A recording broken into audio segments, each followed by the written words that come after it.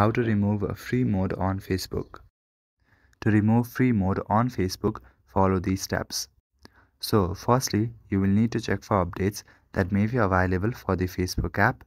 To check for updates, open App Store or Play Store on your device. Then search for the application Facebook. Now, if there are updates available, tap on the update option. If not, then open the application on your device. If you're using Facebook in free mode and want to switch back to the regular mode, then you can easily do so.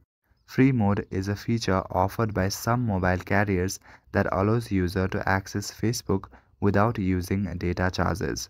When you are in free mode, there's usually a purple banner at the top of the screen that says you are in free mode or it might say you're using Facebook free. Tap on the banner and you should see an option to see photos or switch to data mode. Tap this option to return to the regular mode where images and videos are loaded. A pop-up may appear asking if you want to switch to data mode, reminding you that it will be your mobile data. Confirm to proceed.